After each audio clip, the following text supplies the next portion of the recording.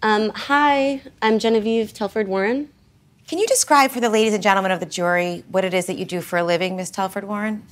Sure. Um, I am a social media brand ambassador for myself, for my own account, and for a third party account as well, which belongs to my dog, who's a pet, who I do also brand negotiation deals for him as well. And I do DJing also for party and event and corporate and personal and public. And I do also certified, I'm a lash tech also, but I haven't really done that in a while, but I can, I'm still certified to do it.